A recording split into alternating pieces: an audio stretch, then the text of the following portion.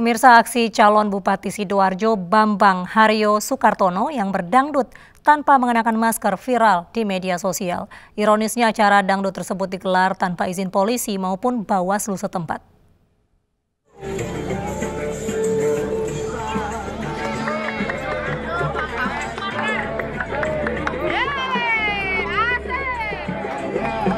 Inilah aksi Babang Haryo Sukartono saat berjoget dangdut di tengah keramaian.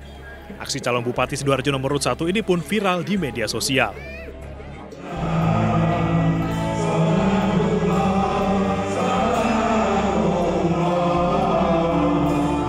Tak hanya itu, Babang juga ikut bernyanyi di atas panggung. Meski awalnya memakai masker, mantan anggota DPR RI ini akhirnya melepasnya. Ironisnya, acara dangdut ini digelar di luar jadwal kampanye dan tanpa izin dari polisi dan Bawaslu.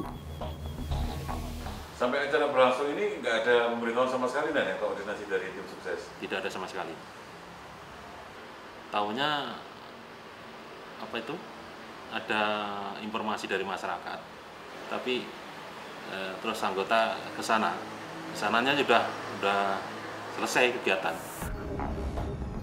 Pihak Bawaslu Kabupaten Sidoarjo pun akan mengklarifikasi hal tersebut ke pihak Panwascam dan tim sukses yang bersangkutan.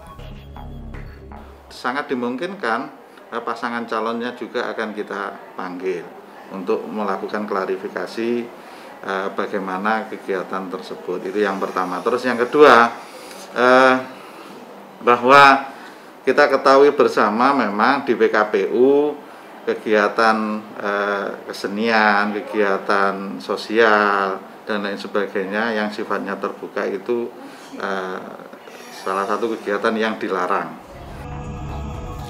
Hingga kini, belum ada pihak tim ses paslon nomor 1 yang bersedia memberikan keterangan terkait peristiwa ini.